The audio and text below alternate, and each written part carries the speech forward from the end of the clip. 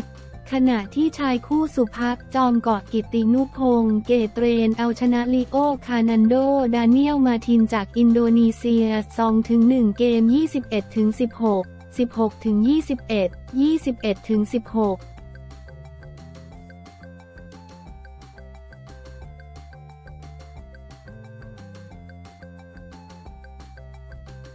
พงศกรอธิวัตรไร้เทียมทานผงาดทองที่ 3 วิวแชร์เรซซิ่งพาราเกมพงศกรแปยอ และอธิวัตรแทงเหนือสองหนุ่มนักซิ่งดีกรีเหรียญทองพาราลิมปิกเกม โชว์ผลงานไร้เทียมทานหลังคว้าทองที่ 3 ของตัวเอง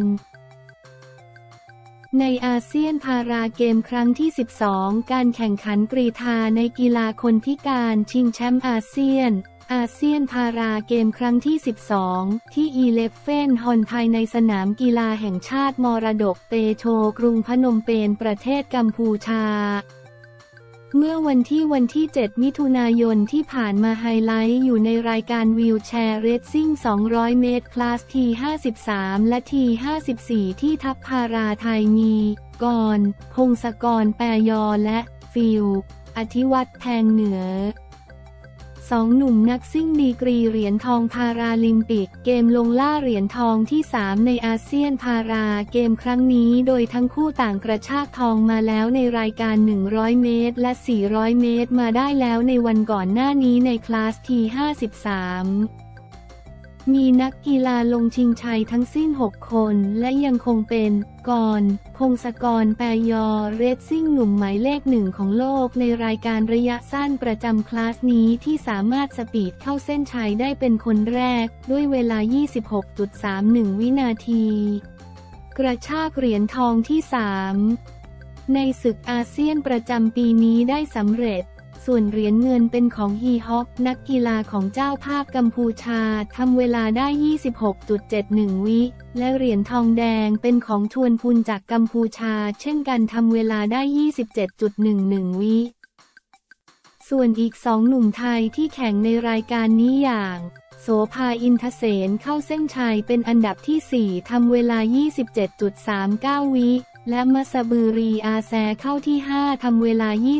27.48 วิด้านคลาสที 54 มีนักกีฬาร่วมแข่งขัน 6 คนเช่นกันก่อนจะเป็น ฟิล อธิวัตรแทงเหนือเหรียญทองพาราลิมปิกเกม 2020 ที่นำโด่งเข้าเส้นชัยเป็นอันดับหนึ่งด้วยเวลา 24.78 วินาที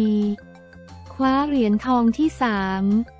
ในอาเซียนพาราเกมครั้งนี้ตามรุ่นที่พงศกรไปได้สำเร็จ แวนหวันจากกัมพูชาทำเวลาได้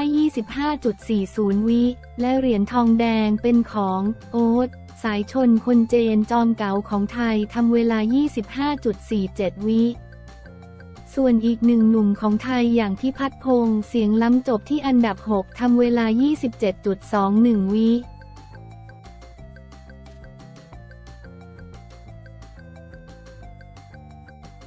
โค้ชด่วนเผยวอลเล่บอลสาวไทยบิน 25 ชั่วโมงถึงบราซิลเจอปัญหาเจ็ตแลกความเคลื่อนไหวของทีมนักวอลเลย์บอลหญิงทีมชาติไทย ชุดลุยศึกวอลเลย์บอลหญิงเนชั่นลีก 2023 VNL สนามที่ 2 ระหว่างวันที่ 13-18 มิถุนายนนี้ ล่าสุดเมื่อวันที่ 7 มิถุนายน นักตบสาวไทยเดินทางจากตุรกีถึงกรุงบราซิเลียประเทศบราซิลเป็นที่เรียบร้อยแล้ว หลังใช้เวลาเดินทางกว่า 25 ชั่วโมง โดยโค้ชด่วน นายดนายศรีวัชระเมธากุลหัวหน้าผู้ฝึกสอนทีมนักตบสาวไทย เผยว่า นักกีฬายังมีอาการล้าและง่วงนอนกันบ้าง ซึ่งเป็นเรื่องปกติที่ร่างกายกำลังปรับตัวจากการเดินทาง เนื่องจากบราซิลและตุรกีต่างกันถึง 6 ชั่วโมง ปัญหาของทีมไทยในเวลานี้ไม่มีอะไรมากไปกว่าเรื่องการปรับเวลา หรือเจ็ตแลกเพราะเวลาที่บราซิลช้ากว่าที่ตุรกี 6 ชั่วโมง และช้ากว่าไทย 10 ชั่วโมง จึงไม่อยากให้นักกีฬานอนกลางวันในช่วงนี้ แม้ว่าจะง่วงมากก็ตาม แต่ก็ต้องฝืนไม่เช่นนั้น พอถึงเวลากลางคืนจะไม่หลับ และจะปรับตัวยากมากสำหรับสนามแรกนักตบสาวไทยทำผลงานชนะ 2 นัด แพ้ 2 นัดมี 7 คะแนน รั้งอันดับ 8 ของตาราง ส่วนโปรแกรมการแข่งขันสัปดาห์ที่ 2 มีดังนี้วันที่ 15 มิถุนายน คืนวันที่ 14 มิถุนายน เวลา 3 นาฬิกา 30 นาที เยอรมนีพบไทย วันที่ 16 มิถุนายน คืนวันที่ 15 มิถุนายน เวลาเที่ยงคืนไทยพบสหรัฐอเมริกา วันที่ 17 มิถุนายน คืนวันที่ 16 มิถุนายน เวลา 7 นาฬิกา เซอร์เบียพบไทยและวันที่ 19 มิถุนายน คืนวันที่ 18 มิถุนายน เวลาเที่ยงคืนไทยพบโครเอเชีย ถ่ายทอดสดทางช่อง 7 HD bugaboo.tv, w w w t e r o a s i a c o m